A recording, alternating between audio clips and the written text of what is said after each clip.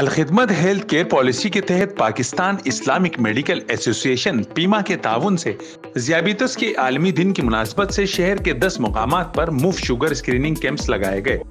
Video آگے دیکھنے سے پہلے چینل کو سبسکرائب کریں اور بیل آئیکن پر کلک کریں۔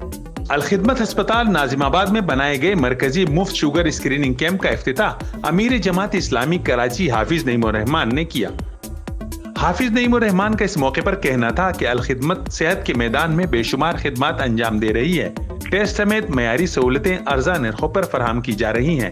جلد نازم آباد میں نئی لیبارٹری قائم کی جائے گی، جہاں سی ٹی سکین میموگرافی سمیت دیگر ٹیسٹ کی سہولیات دستیاب ہوں گی۔ شمار کام ہے کہ جو الخدمت کے تحت ہو رہے ہیں۔ آپ نے دیکھا تھا کہ گزشتہ سال جب کرونا آیا تو سب سے بڑا نیٹ ورک پورے پاکستان کا، اگر کوئی لوگوں کو ریلیف دینے کا تھا تو وہ الخدمت کا تھا۔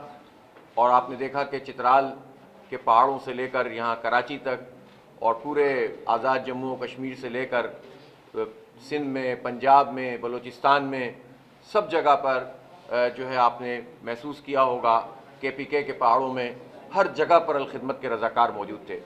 اور الخدمت کو یہ سہولت اس لیے حاصل ہے کہ اگر کوئی بھی ڈیزاسٹر یا کوئی بھی پریشانی ملک و قوم پر آتی ہے اور کسی بھی جگہ پر کوئی پرابلم پیدا ہوتی ہے، تو جماعت اسلامی کے سارے ورکرز الخدمت کے والنٹیئر بن جاتے ہیں۔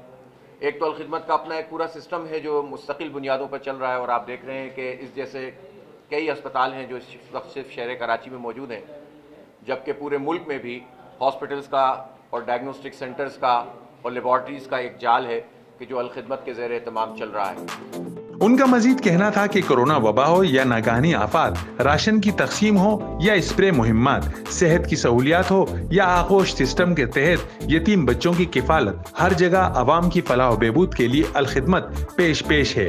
اس موقع پر director health Al-Khidmat Karachi, doctor Saqib Ansari, Pakistan Islamic medical association کے صدر، doctor Abdullah Muttaqi, doctor Rehan, executive director Al-Khidmat Rashid Qureshi وہ دیگر بھی موجود تھے۔ کیمرہ مین رضوان علی کے ساتھ قمر الرحمان جسارت نیوز کراچی۔